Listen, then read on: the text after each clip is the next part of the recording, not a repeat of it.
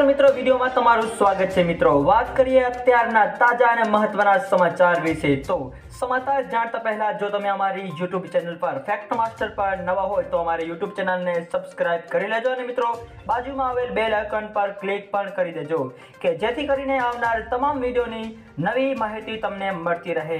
તો મિત્રો, આજના મુખ્ય સમાચારની શરૂઆત કરીએ. તો હાલ મિત્રો, હવામાનની સૌથી મોટી આગાહી અનુસાર ગુજરાત રાજ્યની અંદર આગામી બે દિવસ સુધી કમોસમી વરસાદની હાલ આગાહી વ્યક્ત કરવામાં આવી રહી છે. એટલે મિત્રો, રાજ્યના અમુક અમુક વિસ્તારોની અંદર ભારે માવઠું થવાની પણ હાલ શક્યતાઓ વ્યક્ત કરવામાં આવી રહી છે. આ સાથે સાથે મિત્રો, હવામાનની સૌથી મોટી આગાહી અનુસાર આગામી અડતાલીસ કલાક દરમિયાન સૌરાષ્ટ્ર, કચ્છ અને ઉત્તર ગુજરાતના કેટલાક વિસ્તારોની અંદર અમુક અમુક વિસ્તારોની અંદર કમોસમી વરસાદની એટલે કે માવઠાની હાલ આગાહી વ્યક્ત કરવામાં આવી રહી છે. આ ઉપરાંત મિત્રો જેમ નવી અપડેટ આવશે એમ અમે તમને જણાવતા રહીશું.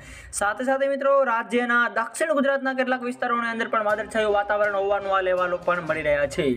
ત્યારબાદના મુખ્ય સમાચારની વાત કરીએ તો વેસ્ટર્ન ડિસ્ટર્બન્સના કારણે ગુજરાત રાજ્યની અંદર વાતાવરણમાં પલટો આવવાની સાથે સાથે શિયાળાની ઋતુ દરમિયાન પણ મિત્રો માવઠું જોવા મળી શકે છે એવું હાલ અનુમાન લગાવવામાં આવી રહ્યું છે. આ ઉપરાંત મિત્રો આ વેસ્ટર્ન ડિસ્ટર્બન્સની અસરના ભાગરૂપે કચ્છ, સૌરાષ્ટ્ર તેમજ ગુજરાતના અન્ય વિસ્તારોની અંદર પણ અમુક અંશે માવઠું એટલે કે કમોસમી વરસાદ જોવા મળી શકે છે. મિત્રો, હાલના છત્રીસથી અડતાલીસ કલાકની વાત કરીએ તો ગુજરાત રાજ્યની અંદર સૌરાષ્ટ્ર કચ્છ તેમજ ઉત્તર ગુજરાતના અમુક અમુક વિસ્તારોની અંદર કમોસમી વરસાદ નોંધાય એવું હાલ અમારું અનુમાન લગાવવામાં આવી રહ્યું છે. આ સાથે સાથે મિત્રો ગુજરાત રાજ્યના વિસ્તારોની અંદર મિત્રો ત્યારબાદ કડકડતી ઠંડી પણ જોવા મળી શકે છે.